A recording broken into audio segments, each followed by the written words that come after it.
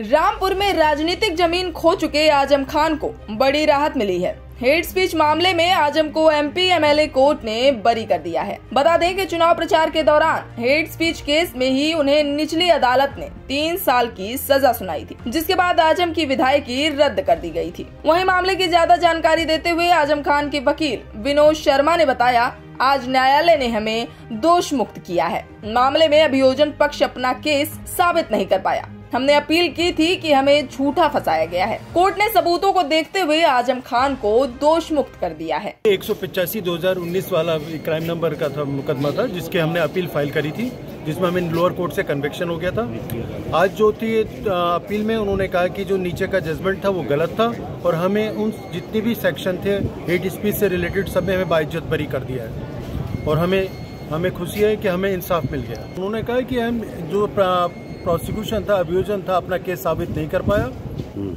और हमें झूठा फंसाया गया। और जो हमने नीचे प्ली लिखी थी हमें झूठा फंसाया गया वो हमारी बात मानी गई और ये अपील जो है हमारे फेवर में एक्टल कर दिया गौरतलब है कि हेट स्पीच से जुड़ा ये मामला 2019 लोकसभा चुनाव के दौरान का है, जब आज़म खान ने एक चुनावी भाषण के दौरान आपत्तिजनक और भड़काऊ टिप्पणियाँ की थी। इसकी शिकायत बीजेपी नेता और रामपुर सीट से मौजूदा विधायक आकाश सक्सेना ने की थी। इसी मामले में रामपुर कोर्ट ने आज़म को दोषी ठहराया था। पिछले साल 27 अक्टूबर को एमपी एमएलए कोर्ट ने आज़म खान को तीन साल की सजा सुनाई थी और उनकी विधायकी चली गई थी।